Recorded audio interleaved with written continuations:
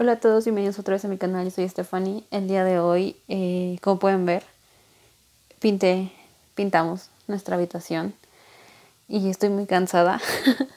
Así que este, este video lo grabaré con mis últimos tres pesos de, energía y vitalidad.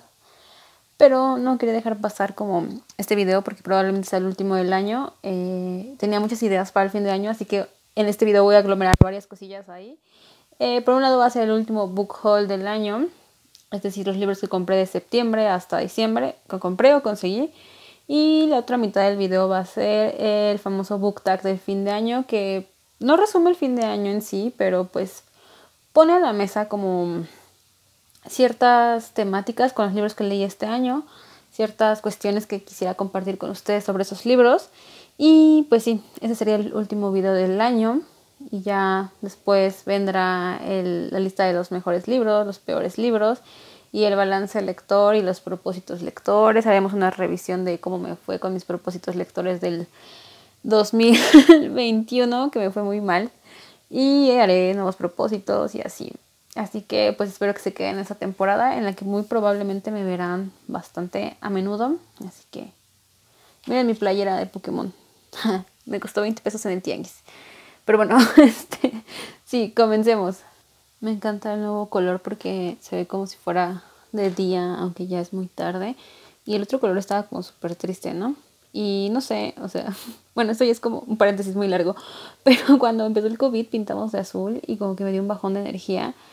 No sé, estaba muy triste ese color y ahorita que pintamos de amarillo pues siento que está, está chido, como que hay mucha vitalidad y me gusta como, como de ritual de, de inicio del año, pintar una habitación creo que es un gran ritual, pero bueno, en fin, empezamos con el book haul. Eh, como les dije, esto va de septiembre hasta diciembre y algunos de estos libros ya los han visto en otros videos, mm, ahí muy por encimita y en mis historias de Instagram, pero bueno, voy a compartirles un poquito porque me gusta tener un poco de orden aunque sea en mi canal, ¿no? En mi vida quizás no tanto, pero en mi canal sí. Los primeros que conseguí en septiembre fueron estos tres estos tres.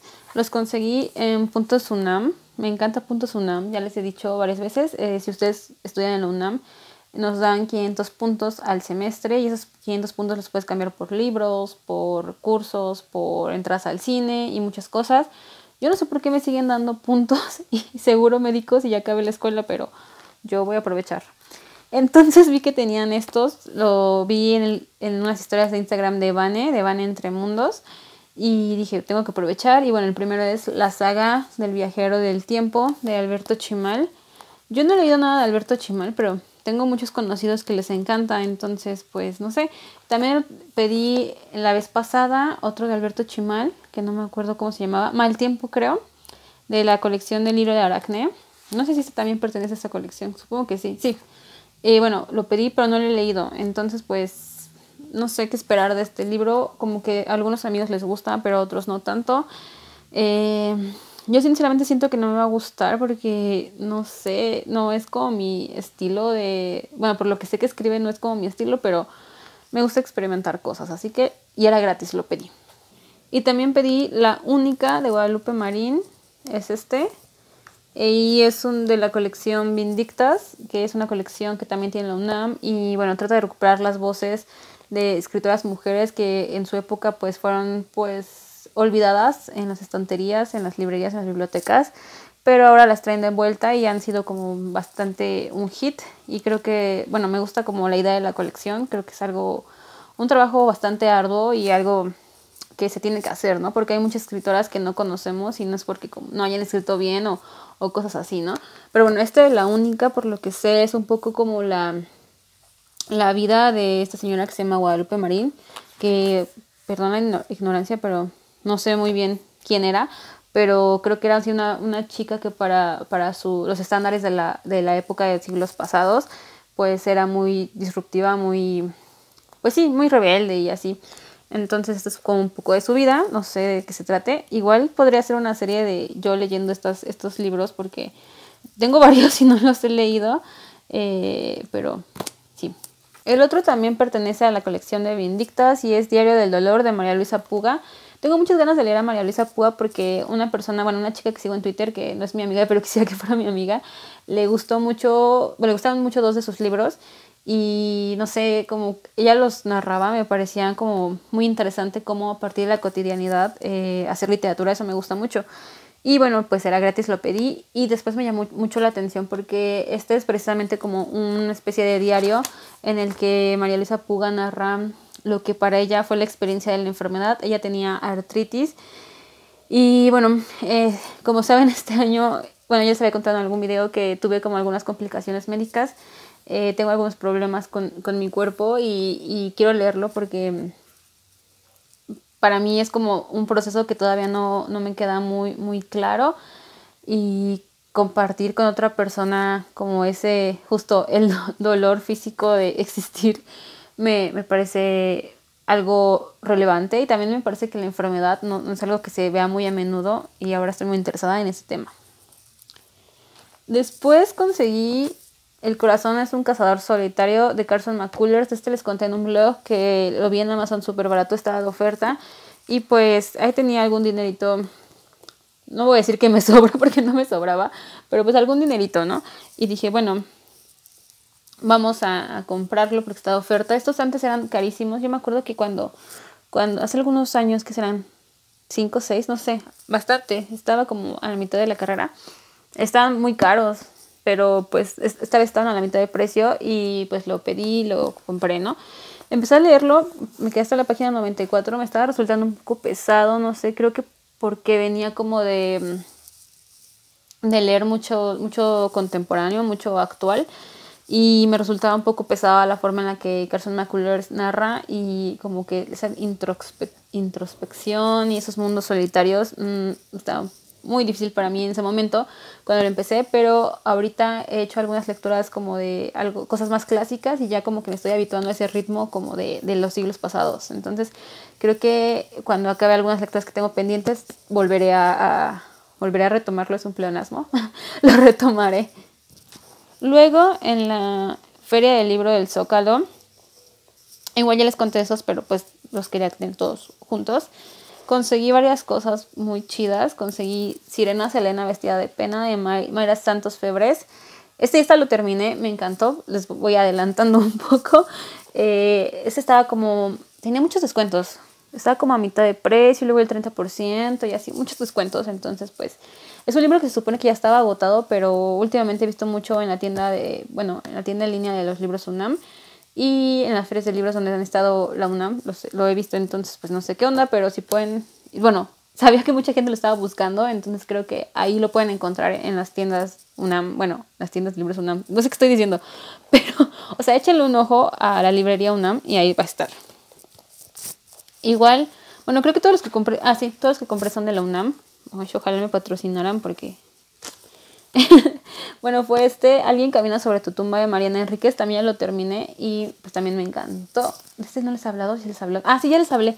Este, ajá, pues me encantó, es Mariana Enríquez, yo la amo. Y esta es una edición muy bonita que hicieron la UNAM y Ediciones Antílope. Es súper, súper bella, miren, súper linda. Eh, solo no me gustó como que las fotos venían al principio de cada crónica. Entonces cuando acababas de leer la crónica ya se había olvidado como la imagen y tienes que regresar. Eso, eso de, de, la edición pues como que no, no me latió tanto y me hubiera gustado que tuviera más, más este promociones de mojitos en 55 pesos. Este, más, este, más imágenes. Sí, eso. Pero me encantó. Y es una edición muy bonita. La mía ya venía como un poco maltratada. Porque también según estaban agotados. Y pues nada, está, está un poco feita de las orillitas y así como gastada. Pero pues bueno, también tenía mucho descuento. Y luego compré una habitación desordenada de Viviana. Vivian Abenshushan. Sí, Vivian Abenshushan. y costó 19 pesos. Súper barato. De 95 y luego 85 y luego 19 pesos.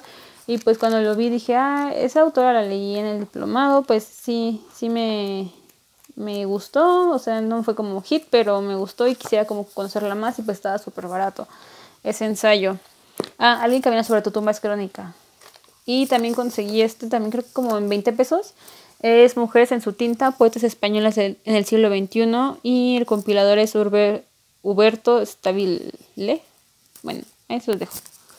También estaba súper barato, igual de, de, la UNAM. Y lo compré porque yo antes, cuando estaba en la carrera, me gustaba mucho la, la literatura española, mm, como que era lo que más disfrutaba.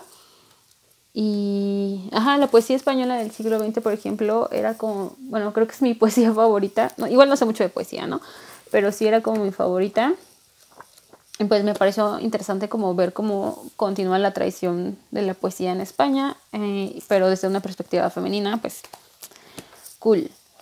Luego compré un libro para hacer mi trabajo final del diplomado. Ya no les pude contar acerca de esa experiencia, pero bueno, o sea, bueno, ya luego verán después, pero compré Si viviéramos en un lugar normal de Juan Pablo Villalobos. Me gustó muchísimo, muchísimo, muchísimo. Hit en mi corazón. Miren, pueden ver todas estas notas. Fue porque de este libro hice mi trabajo final. o sea, leí un montón de libros y ninguno me llamó la atención suficientemente para hacer mi trabajo final. Y solo como tres días antes de entregar el trabajo, bueno, no, tampoco exageres, como una semana antes, dije, ah, ese libro que leímos en la primera sesión y que yo no lo leí porque me hice bolas y pensé que no había que leer, pero etcétera, etcétera, no lo había leído. Dije, pero ese libro me parecía como que era muy, o sea, me llamaba mucho la atención y tenía la corazonada lectora de que me iba a gustar, entonces lo empecé a leer en EPUB y me gustó mucho me, quedé como a la mitad este, en el pub y al día siguiente dije, tengo que hacer mi trabajo sobre eso, me vinieron como algunas ideas para hacer mi trabajo y tengo que comprarlo para subrayarlo y, y poder manipularlo cuando estuviera haciendo mi, mi trabajo, ¿no? Entonces, pues sí, mira, tienen así como un buen de subrayados y un buen de cosas. Me encantó, yo lo recomiendo bastante. Este era un book haul, no un up, pero ajá.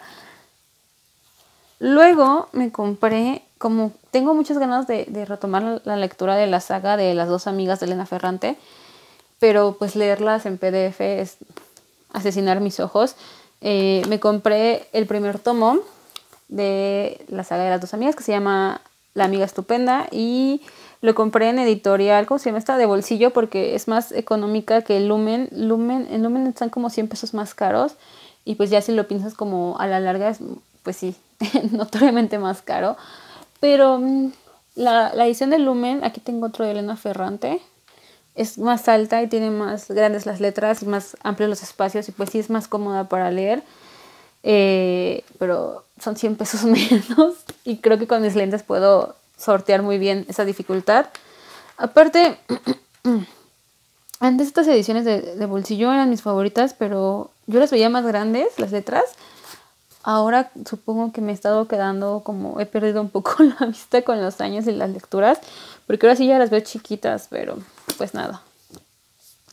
Y bueno, yo quería hacer este book haul antes de Navidad, pero después dije, ¿qué tal si alguien me regala un libro de Navidad y no aparece en el book haul? entonces me esperé y llegó Navidad y nadie me dio un libro y yo estaba como súper triste, pero al día siguiente vino Alberto y me dio un libro y fue justo el segundo tomo de la saga, que es un mal nombre. Y pues lo mismo, o sea, las letras chiquitas, pero pues igual es más económico. Y también, o sea, si voy a empezar la saga, pues ya quiero que sea, uniforme, porque la de Crepúsculo la tengo de chile, mole y pozole. Entonces no me gusta eso, pero ajá, es como un poco la obsesión, ¿no? Eh, sí, me lo, me lo regaló y me dijo que cuando fue a comprarlo, pues ya era el último. Y venía como un poquito dobladito, pero ya ahorita ya se compuso. Entonces ya, espero este año, les voy adelantando que uno de mis propósitos lectores es leer una saga completa. Tengo pendiente Narnia, Crepúsculo y esta. Así que, pues no sé, seguramente voy a leer esta, pero ¿a quién engaño? Eh, entonces ya, o sea, me, estoy preparando y bueno, si me quieren obsequiar los últimos dos tomos, les dejo acá abajo el link a mi wishlist para que me ayuden a cumplir mi sueño de tener la saga completa. Y bueno, ya el último libro que conseguí en esta temporada es Furia de Cleo Mendoza. Este fue parte de un trueque de libros que hice con mis amigas Milo y Meli. Me encanta decir sus nombres juntos porque es como muy, muy lindo y dulce. Milo y Meli. Eh, pues sí, eh, la idea original era como hacer un intercambio normal, eh, ¿cómo se le dice? Convencional, en el que tú vas y compras un obsequio, se pone una cuota y vas y compras un obsequio, pero la verdad es que mi economía no estaba muy bien, entonces yo dije como, bueno, y creo que la de muchas personas tampoco. Dije como, oigan, no. entonces, este, no sé, un día a Mildred se le ocurrió que en lugar de comprar el libro o el obsequio, podríamos intercambiar libros que ya teníamos en nuestro librero eh, de acuerdo como a, a lo que creyéramos que le podría gustar a la otra, ¿no?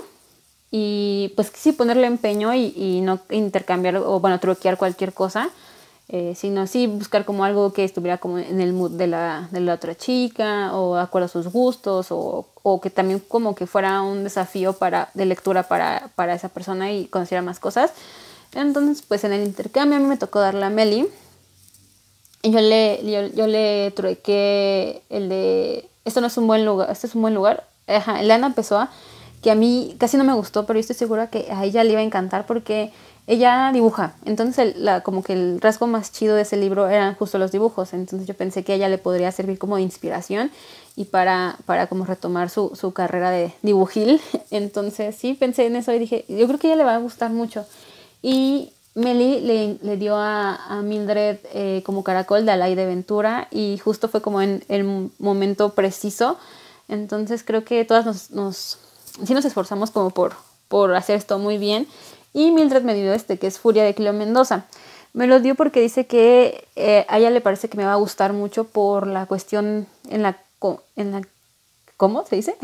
en la que está estructurado eh, la novela, eh, que es como un poco de completar y un poco de saltos y esas cosas estructuralistas que a mí me encantan, dice que, que viene mucho aquí, que también tiene como escenas ahí morbosillas, que también sabe que es algo que me encanta y que cree que, la, prosa me puede, puede gustar mucho y me, va, me va a llamar mucho la atención.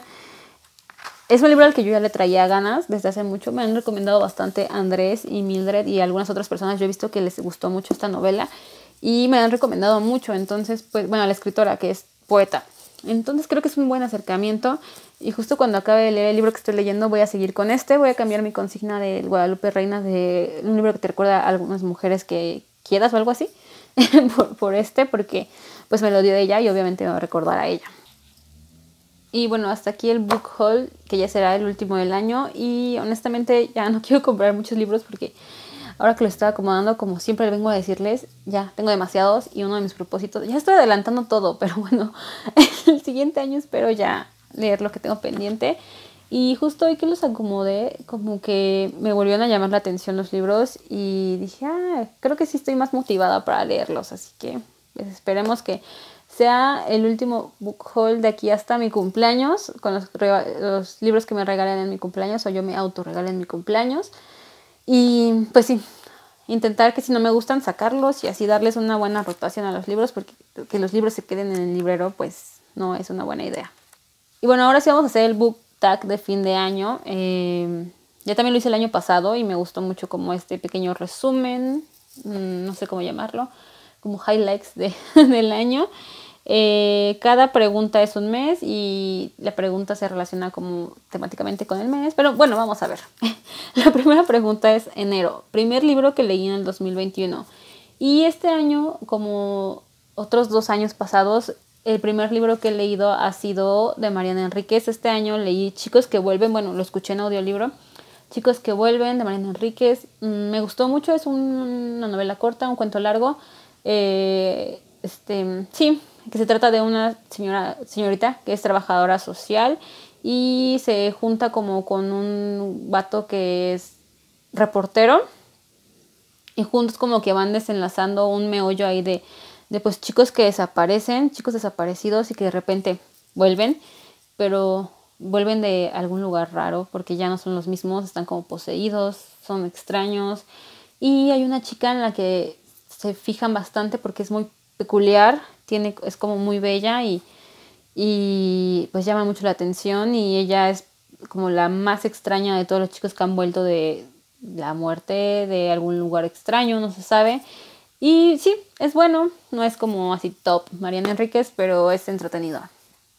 Luego tenemos febrero, libro más corto que leíste. Y según yo revisé en Goodreads, el libro más corto que leí fue Camino a casa de Jairo Buitrago con 22 páginas. Este es un libro álbum que leí para cuando estaba haciendo mi servicio social Y, oh no, es un libro que duele, duele, duele totalmente. Eh, ya después de como de haberlo analizado, eh, pues es un libro que habla sobre cuando tienes un familiar desaparecido y lo doloroso que es esto. Muy emotivo, muy, muy duro y creo que precisamente rompe con el tabú que, muchas veces hay en torno a la literatura infantil, que solo es dulce o, educativa o cosas así, y esa te muestra que la literatura infantil es capaz de tocar todos los temas y que los niños son capaces de entenderlo eh, desde su perspectiva. Entonces, pues sí, bastante, bastante lindo, pero duro y, ay no, emotivo. Luego sigue marzo. Autora favorita del 2021. Ay. Mariana Enríquez. Leí mucho Mariana Enríquez y fue mi favorita con nuestra parte de noche. Me encantó. Fue como lo máximo de mi año lector. Yo también estoy adelantando esto, perdón. Este video está lleno de spoilers. Eh, pero sí, Mariana Enríquez, pero así, autoras que descubrí este año y que me gustaban mucho. Pues voy a decir Rita Indiana. Me, me fascinó, me, cautivó mucho, me gustó mucho como la forma en la que ella narra sus escenarios, la forma en la que escribe las cosas como muy cinematográficamente, sus personajes me gustaban mucho, como que, eh, que ella toca cierta, como ciertos temas de una forma cruda, pero bastante mm, satírica, se dice. Sí, o sea, con ese, esa burla, pero ya saben, olvidé la palabra.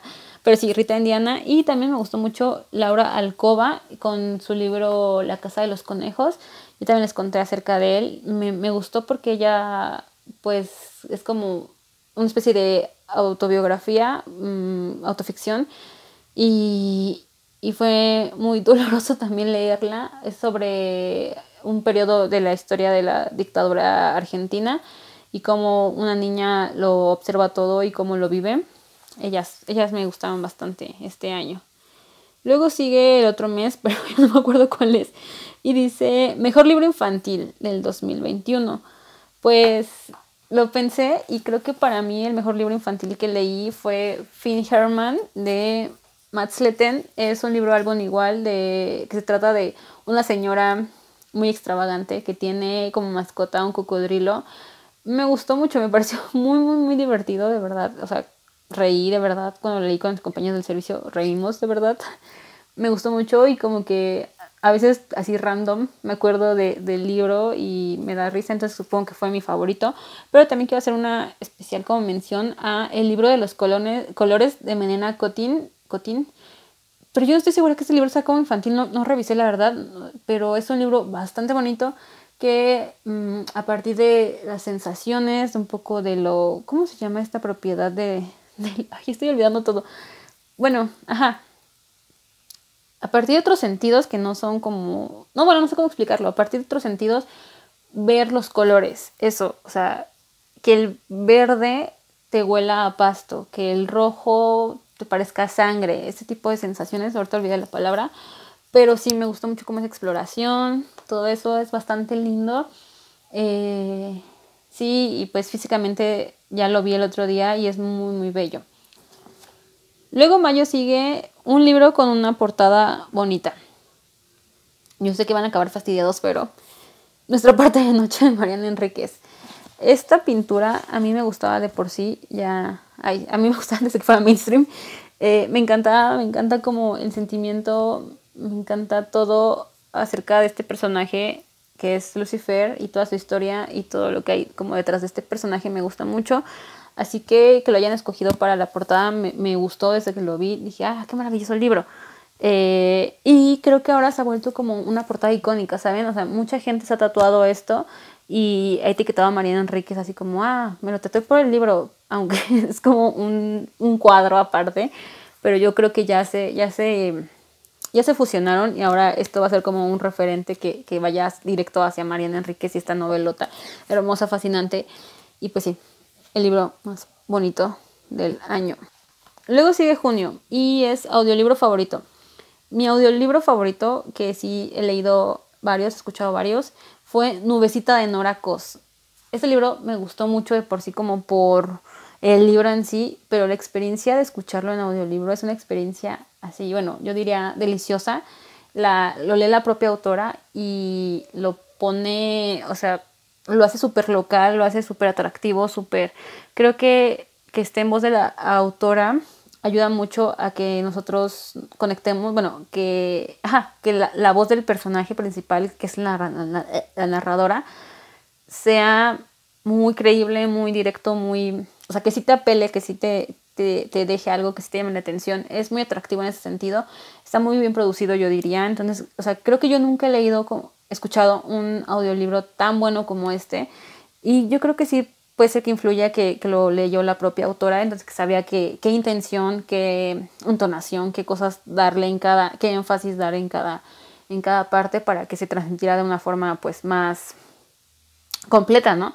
Porque muchas veces como que he escuchado audiolibros súper planos, que no entiendes como las diferencias entre los personajes, o que la voz es súper aburrida y todo eso. Entonces, a pesar de que este tiene como acento, no acento extranjero, bueno, ajá, es una variante dialectal del norte de México y puede que sea muy local. De todas maneras es muy disfrutable, no como algunos que, están como en español de España y no gustan. Pero bueno, ajá, yo los recomiendo mucho, ya les digo que por la historia, pero también eh, eh, escucharlo es una experiencia bastante, bastante buena. Luego es Julio, libro más largo que leíste. Nuestra parte de noche tiene 667 páginas y, ajá, fue un reto gigante para mí porque a mí un libro que tiene 250 páginas me parece largo, excesivo, ya me quiero matar y quiero, ya no quiero acabarlo. Y leí nuestra parte de noche en un mes. Para mí es que leí rapidísimamente. Como Rashoma Queen, es el libro más largo que leí este año. Estoy muy orgullosa de mí. Luego sigue agosto libro que leíste más rápido. Y este es si viviéramos en un lugar normal. Lo acabé en dos días. O sea, lo leí en una noche, como en dos horas de, la noche, en el EPUB que les cuento. Pero como ya no quería leerlo en el PUB y lo quería leer en físico, al siguiente día lo compré y lo leí como en seis horas, como en ocho horas. Es un libro muy cortito y seguro son muchas horas, pero para mí es eso es lo más veloz que, que he podido leer en mucho tiempo.